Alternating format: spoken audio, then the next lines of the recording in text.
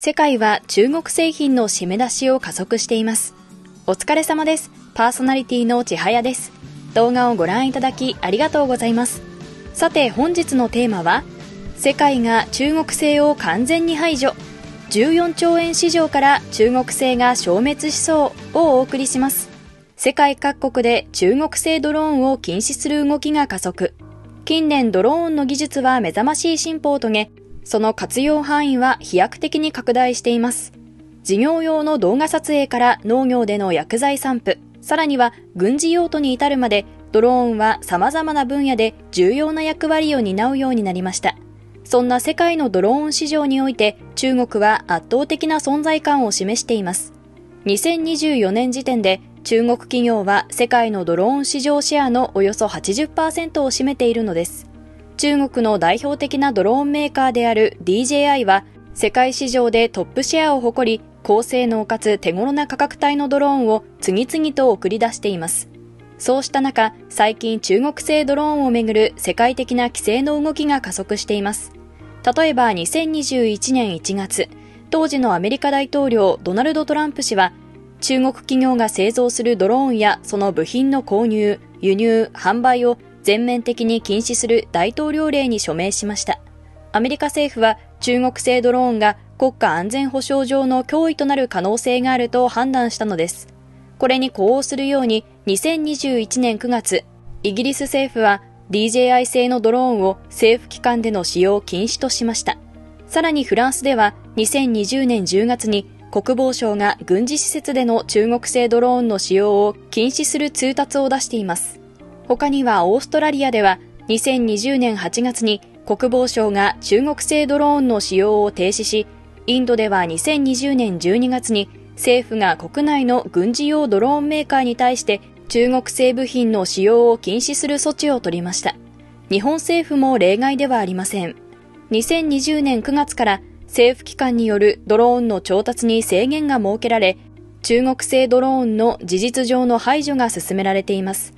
2023年3月には経済安全保障推進法案が閣議決定され、安全保障上のリスクがあるとして、政府機関での中国製ドローンの使用を原則禁止としています。それにもかかわらず、未だ80%ものシェアを誇るというのは脅威ではありますが、次第にそのシェアも失われていくとみられています。こうした世界的な規制の背景には様々な要因が存在します。まず、中国製ドローンが情報漏洩や不正アクセスのリスクをはらんでいるという懸念があります。中国の国家情報法では、中国企業に対して政府への情報提供を義務付けており、ドローンを通じて収集された機密情報が中国政府の手に渡る可能性が指摘されているのです。また、ドローンの軍事利用における脅威も無視できません。中国製ドローンが諜報活動や軍事作戦に悪用される恐れがあるとの見方が強まっています。実際に2020年のアルメニア・アゼルバイジャン紛争では中国製ドローンが戦場で活躍し、その性能の高さが注目を集めました。さらに各国政府はドローン分野における中国への過度な依存を避けたいという思惑もあります。自国のドローン産業を育成し、安全保障上の自立性を高めることが重要な課題となっているのです。こうした状況を受けて日本国内でも国産ドローンの開発が加速しています。2023年には国産初の大型産業用ドローン ACSL-PF2 が登場し、物流や災害対応での活躍が期待されています。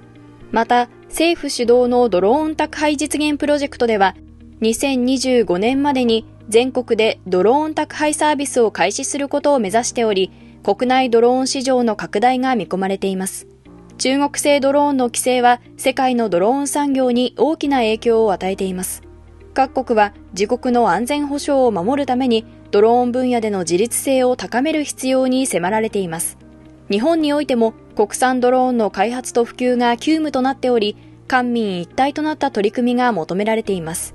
中国製ドローンは情報流出に大きな懸念がある。世界各国で中国製ドローンの使用を禁止または制限する動きが加速している背景には大きく分けて3つの理由が存在します。まずは中国への情報の流出です。2017年に中国で制定された国家情報法により、中国国内の企業や組織は政府への情報提供を義務付けられています。このため、中国製ドローンから収集された情報が中国政府の手に渡る可能性が指摘されているのです。二つ目は、中国依存のリスク回避です。中国へのドローン依存が長期的には大きなリスクになると指摘されています。例えば、中国との政治的な緊張が高まった場合、ドローンの供給が停滞するリスクがあります。これはインフラ管理や産業活動に直接的な影響を及ぼす可能性があるのです。また、中国製ドローンへの依存が深まることで、情報セキュリティ上のリスクも増大します。3つ目は、軍事利用での脅威です。ドローン技術の進化により、軍事目的での活用可能性が高まっています。特に中国製ドローンが軍事転用され、情報収集や軍事的な攻撃に利用されるリスクが懸念されているのです。いずれにせよ、ドローンは上空を飛び回るため、その映像情報は他国にとっては非常に貴重なものとなります。最新の防衛設備や街の様子などを収集することができるからです。すべての中国製ドローンがそのような情報を中国政府に送っているとは言いませんが、技術的には可能な状況になっているというのが問題なのです。中国製ドローンをめぐる問題は技術的な側面だけでなく国家安全保障の観点からも重要な課題となっています。各国政府は情報流出やスパイ行為のリスクを最小限に抑えるため、厳格な規制措置を講じる必要に迫られています。とはいえ、ドローンはこれからの物流や測量、農業などにとって重要なものとなります。そのため、規制と育成のバランスが重要です。日本政府は2022年にドローン産業育成アクションプランを策定し、国内ドローン市場の拡大を目指しています。2024年には国内ドローン市場規模が5000億円に達すると予測されており、関連企業への支援や規制の見直しが進められています。世界的に拡大するドローン市場。近年、世界のドローン市場は目覚ましい成長を遂げています。市場調査会社のマーケッツマーケッツによると、2021年の世界のドローン市場規模は3兆4000億円に達し、2026年までには6兆8000億円に拡大すると予測されています。また、民生用ドローンの出荷台数も急増しています。調査会社のガートナーは、2022年の民生用ドローンの出荷台数が前年比39%増の620万台に達したと発表しました。さらに2026年までに年間出荷台数が1000万台を突破すると予測しています。今後はドローン自体の性能向上だけでなく、AI や IoT などの先端技術との組み合わせにより、さらなる用途の拡大が期待されます。市場調査会社のフロストサリバンは、2030年までにドローン関連の市場規模が136兆円に達すると予測しています。2024年4月時点での最新の市場動向を見ると、ドローン市場の成長はさらに加速しています。調査会社のドローン産業技術協会によると、2023年の世界のドローン市場規模は前年比42%増の5兆3000億円に達したと推計されています。2028年までには13兆7000億円に拡大すると予測されており、年平均成長率は21%に上ります。民生用ドローンの出荷台数も2023年に前年比25%増の775万台に達しました。2028年までに年間出荷台数が1500万台を突破すると見込まれています。ドローン市場の拡大を牽引しているのは物流分野での活用です。アメリカの連邦航空局は2023年8月、アマゾンのドローン配送サービス、アマゾンプライムエアーの商用運行を承認しました。これによりアマゾンはアメリカ国内でドローンを使った商品配送を本格的に開始できるようになりました。日本でも2023年12月、ANA ホールディングスと日本郵便が長野県と山口県でドローンを使った郵便物の配送実験を実施しました。2024年度中の商用サービス開始を目指しています。また、災害対応の分野でもドローンの活用が進んでいます。2023年9月に発生した台風15号では、千葉県の自治体がドローンを使って被災地の状況を調査しました。上空からの詳細な映像により、迅速な被害状況の把握と効果的な救援活動の実施が可能になりました。ドローンの活用はエンターテインメントの分野にも広がっています。2024年1月、東京ディズニーリゾートは、ドローンを使ったナイトタイムスペクタキュラー、ドローンウィッシュの上映を開始しました。空中を舞う300機のドローンが音楽に合わせて美しい光の演出を繰り広げ、来場者を魅了しています。今後はドローンの自律飛行技術や衝突回避技術のさらなる進歩により、より安全で効率的なドローン運航が可能になると期待されています。また 5G などの高速通信網の整備により、リアルタイムでの高精細映像の伝送や大量のドローンの同時制御が可能になるでしょう。こうしたドローン市場の拡大や中国製ドローンの規制については、中国、そして海外から多くの声が寄せられていましたのでご紹介します。中国の反応中国製ドローンの規制は不当だ。中国のドローンメーカーは世界トップクラスの技術力を持っているのに単に中国製というだけで排除されるのはおかしい。欧米のドローンメーカーを優遇するための不公平な規制だと思う。中国製品に対する差別だよ。ドローンの軍事転用を防ぐために規制するなら中国だけじゃなくて欧米のドローンも同じように規制すべきだろうに、中国だけ狙い撃ちするのは明らかに不公平。欧米も同じようにドローンを軍事利用しているのに中国だけ悪者扱いするのは二重基準もいいとこだ。中国製ドローンの品質や性能に問題があるわけじゃないのに規制するのはおかしい。DJI のドローンは世界中で愛用されているし、価格も手頃で優れもの。単に中国製だからって排除するのは技術力を無視した見当違いの判断だと思う。中国製ドローンを使うと情報が中国に流出するって根拠のない中国脅威論だよね。欧米のドローンだって同じようにデータ収集してるはずなのに中国だけ問題視するのは不公平。中国製品への風当たりが強すぎる。規制強化は保護主義の表れだと思う。自国のドローン産業を守るために中国製品を不当に排除しているんだろう。自由貿易の理念に反する行為だし、イノベーションの目を摘んでいるよ。我が国のドローンを規制したところで軍事転用のリスクはなくならないと思う。むしろ規制によって一般ユーザーが高品質で安価なドローンを使えなくなるデメリットの方が大きい。ドローンの健全な利用を阻害するだけの愚策だよ。規制は時代に逆行していると思う。これからドローンはもっと生活に浸透していくはずなのに、規制で自由な利用を妨げるのはナンセンス。リスクを管理しながら活用を促進する方向に舵を切るべきだよ。海外の反応。ドローンの活躍はすごいね。災害時の救助活動や被害状況の確認、インフラ点検など人の手が届かない場所で大活躍だ。これからますます需要が高まるんじゃないかな。ドローンのおかげでより安全で効率的な社会が実現するかもしれない。農業分野でのドローン活用が注目されているみたいだね。広大な農地の状況をいち早く把握できるし、農薬散布なんかも自動化できるらしい。食料生産の効率化に貢献するドローンってなんだかワクワクするよね。物流業界が変わるかもドローンを使った配送サービスが各地で実験されているみたい。交通渋滞に巻き込まれずに素早く荷物を運べるからお客さんも喜ぶだろうね。でも、プライバシーとかセキュリティ面での課題もクリアしないとね。だからこそ中国製ドローンは排除すべき。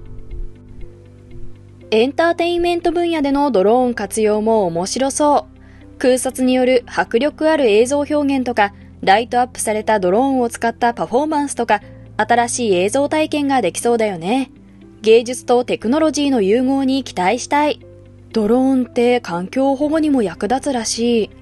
上空から森林の状況をモニタリングしたり、絶滅危惧種の生息調査したり、自然を守る新しい手段になりそうだね。技術の力で地球環境問題に立ち向かえるかもね。インフラ点検や測量にドローンが活躍してるらしいよ。高いところや危険な場所の作業が安全にできるようになるのは素晴らしいよね。建設現場の効率化にも役立ちそう。ドローンで社会インフラの安全性が高まるといいな。ドローンレースも人気らしいね。スピード感あふれる空中戦を楽しめるスポーツとして注目されてるみたい。ドローンを自在に操るパイロットの腕前には脱帽だよ。新しいエンタメの形として定着するかもね。医療分野でもドローンに注目が集まってるって、僻地への医療品輸送とか、事故現場での救命活動とか、ドローンの機動力を活かせそうだよね。命を救うテクノロジーとしてさらなる発展を期待したい。ドローンを使った警備システムがあると聞いた。不審者の発見や追跡に役立ちそうだよね。犯罪抑止にも一役買ってくれるかも。でも、監視社会になりすぎないかは心配だな。ドローンが身近になる日も近いのかも。宅配や移動手段として活用されたら便利だろうね。渋滞知らずで快適に移動できる未来が楽しみだ。技術革新のスピードについていくのは大変そうだけど、ワクワクしてくる。日本のドローン市場の未来。このように日本、そして世界のドローン市場は近年目覚ましい成長を遂げています。市場調査会社の矢野経済研究所によると、2023年度の日本のドローン市場規模は前年度比35.2%増の2138億円に達しました。2027年度までに4500億円規模に拡大すると予測されています。日本では大手企業からスタートアップまで多くの企業がドローン事業に参入しています。日本政府もドローン産業の育成に力を入れています。2022年4月に立ち上げたドローン産業集積実現プロジェクトでは、2030年までに国内ドローン市場を1兆円規模に拡大する目標を掲げました。2024年4月時点での進捗を見ると、着実に成果を上げています。例えば2023年7月、国土交通省はドローンの目視外飛行に関する規制を大幅に緩和しました。熟練したパイロットが操縦する場合、人口密集地での飛行も可能になりました。これにより、ドローンの活用シーンが大きく広がることが期待されています。また、経済産業省は2023年12月、ドローン関連産業成長戦略を発表しました。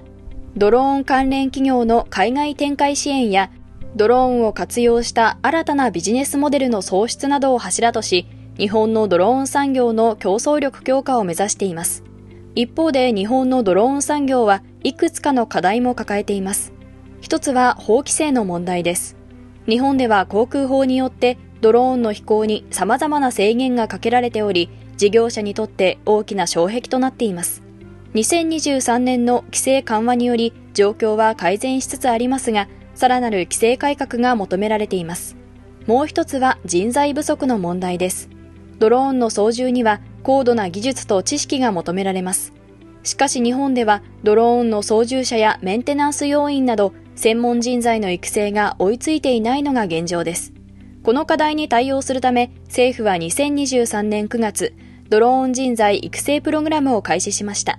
産学間連携により、ドローンの操縦やメンテナンスに関する教育カリキュラムを整備し、年間1000人規模の人材育成を目指しています。また民間企業も独自の取り組みを進めています。大手ドローンメーカーのプロドローンは2024年1月、ドローンの操縦体験や安全講習を行うドローンフライトパークを東京お台場にオープンしました。初心者から熟練者まで幅広い層のドローンパイロットの育成に取り組んでいます。日本のドローン産業は大きな可能性を秘めています。課題を一つ一つ克服し、官民一体となって産業基盤を整備することで、日本は世界をリードするドローン先進国になることができるでしょう。規制改革や人材育成など中長期的な視点に立った取り組みが求められています。日本のドローン産業はいくつかの課題を抱えながらも大きな可能性を秘めています。特に日本の高度なドローン技術への期待は高まっています。日本は長年にわたりロボット技術や電子部品の分野で世界をリードしてきました。この強みを活かして高性能で高品質なドローンを開発することで世界市場での存在感を高めることができると期待されているのです。実際に日本企業は独自の技術を武器にドローン市場でその存在感を着実に増しています。今後は AI 技術との組み合わせによりドローンの自立化がさらに進むと予想されます。例えば被災地の状況をリアルタイムで分析し最適な救助ルートを提示するようなシステムの開発が期待されているのです。日本のドローン産業が直面する課題は規制の問題や人材不足などがありますが官民一体となった取り組みにより、これらの課題を乗り越えていくことが期待されています。例えば2022年には国土交通省と経済産業省が共同でドローン物流事業推進協議会を立ち上げました。この協議会ではドローンを使った荷物配送の実現に向けて規制の見直しや技術開発、人材育成などに取り組んでいます。また農林水産省は2023年度からドローンを使った農薬散布の実証実験を全国で展開しています。これによりドローンの活用による農作業の効率化と農家の労働負担の軽減を目指しています。日本のドローン産業の未来は明るいと言えます。日本企業の技術力と官民一体となった取り組みにより、日本のドローン産業は大きく成長していくことが期待されています。日本初の革新的なドローン技術が世界を変えていく日も近いかもしれません。そして反対に中国は各国から規制を受けることにより今後ドローン産業が衰退していくとみられています。中国が衰退し日本が成長していく。日本にとってはこれ以上ないチャンスと言えるのかもしれませんね。あなたはこうしたドローン市場の動向についてどう思いますか？ぜひ意見や感想をコメント欄にお寄せください。最後までご視聴いただきありがとうございました。またあなたとお会いできることを楽しみにしていますね。